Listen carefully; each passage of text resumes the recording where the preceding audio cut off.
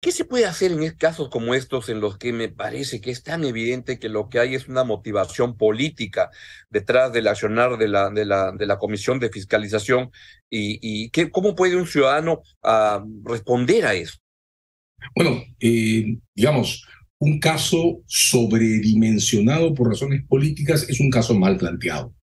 De modo que no va a prosperar. En algún momento esto se va a caer. Por lo pronto, tenemos una posición adoptada y que le vamos a pedir a la Subcomisión de Acusaciones Constitucionales cuando le llegue esta carpeta que la devuelva, porque no es admisible, ni siquiera en el entorno difícilmente institucional que tiene nuestro Congreso, que se permita que un congresista o varios congresistas procedan escondiendo evidencia que tienen ante ellos. No es tolerable que un congresista salga a medios a decir que se compraron pruebas rápidas que estaban prohibidas cuando sabe que la OMS las recomendaba para usos específicos. No es, no es admisible que un congresista salga a decir que el sector salud no quería pruebas rápidas cuando hay documentos escritos, firmados, registrados en la que el, sector salud estaba pidiendo pruebas rápidas como parte de, de, un paquete de paquetes complejos que incluyen las moleculares en marzo del 20. Y no es razonable que alguien pretenda arbitrario comprar pruebas rápidas en las únicas condiciones que era posible hacerlo en la cuarentena.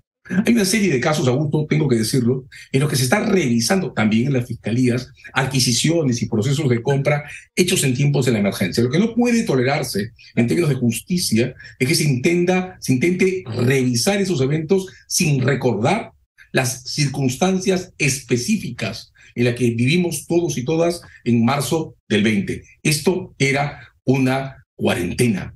Y dentro de una cuarentena tampoco se puede pretender revisar procesos tan complejos como lo de adquisiciones de elementos de urgencia como si hubiéramos estado en tiempo de normalidad. Eso no tiene ningún sentido. Quienes han hecho un esfuerzo objetivo, no me refiero por supuesto al señor Vizcarra, pero sí a la señora Alba, por intentar estabilizar las enormes dificultades que produjo la pandemia, pues entonces no pueden ser luego castigados por el sistema de justicia pretendiendo que sus esfuerzos deben ser considerados infracciones a la Constitución o delitos. Eso está más allá de lo que podemos aceptar, más allá de lo que podemos permitir y, de hecho, vamos, soy su abogado, lo has dicho, en nombre de ella, a enfrentar este caso intentando estabilizar las consecuencias de un informe que no debería haber sido firmado.